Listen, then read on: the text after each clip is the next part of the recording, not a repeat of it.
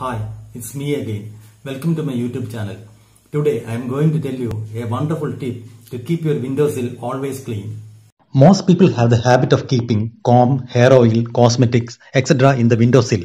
Usually, the windowsills of a house were occupied with necessary as well as unnecessary items. Keeping these items continuously make permanent markings. The droppings of lizards and dust also make the windowsills dirty. It is very difficult to clean these areas.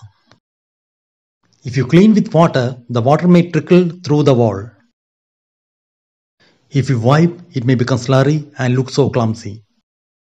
There is a permanent solution for this problem.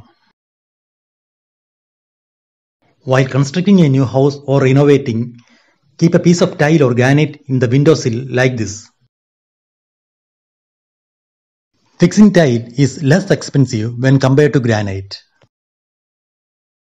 As we all know, tile and granite are stain free, so it is very easy to clean, just a wipe will do. By this simple method, you can keep your windowsill clean and gorgeous. Hope you like this tip. Thank you for watching this video. Please like, share and subscribe.